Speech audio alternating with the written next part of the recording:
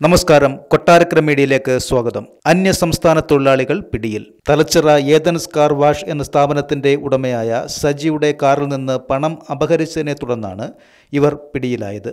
C C T V ദൃശ്യങ്ങളുടെ അടിസ്ഥാനത്തിലാണ് പ്രതികളെ അറസ്റ്റു ചെയ്തത്. കൊട്ടാരക്കര പോലീസാണ് പ്രതികളെ അറസ്റ്റു ചെയ്തത്.